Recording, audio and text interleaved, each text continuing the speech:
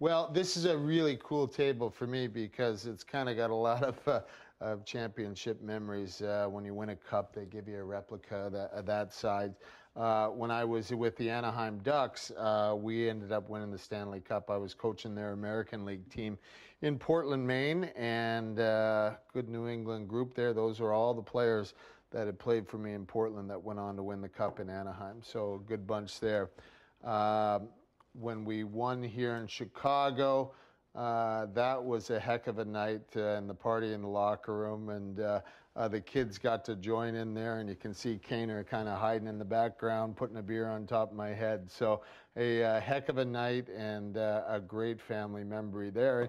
And I actually have one of my own. You go back this is my dad winning the cup in um, the Western Hockey League probably around 66 67 uh, that's me sitting in the truck, uh, excuse me, sitting in the cup. My sister Rose, the old cat eye glasses, my brothers, and my dad sitting there smoking a stogie. So, uh, pretty neat picture to say the least to have. And uh, there's dad uh, when he came into Chicago for the father son. Actually, that's St. Patty's Day. You can see we're heavy on the green in that picture. So, uh, some incredible m- memories that this game of hockey has given my family, that's for sure. Uh, everybody, the owner, the team, the uh, GM, uh, down into the assistant coaches. I was fortunate enough to make it.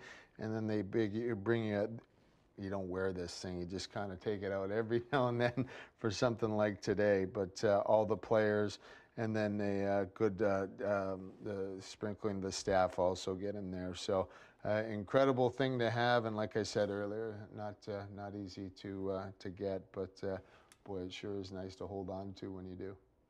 Everybody collects different things. For me, I was always a jersey collector, so it was always kind of cool whenever we play a team uh, whether it was uh, uh, Czechoslovakia or Sweden. I've got a number of international jerseys. Just brought out a few ones.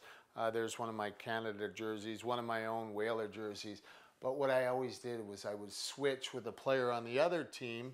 Uh, uh, so a, a Jorgen Pettersson, who I played with, uh, when he was with St. Louis, so I gave him one of my Whaler jerseys. He gave me uh, one of his Blues jerseys.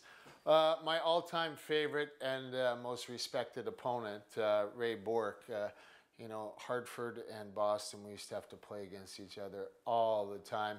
And I really never got to know Ray until we played together at the Canada Cup in 1987 but uh, by far one of the most incredible competitors I ever played against. And uh, uh, so we swapped jerseys uh, one time as well. So I brought those two. I pretty well have a, uh, jersey for every NHL team, but uh, somebody's going home with a cup. They'll enjoy it, and uh, I tell you, it'll be well worth it. So good luck to both teams.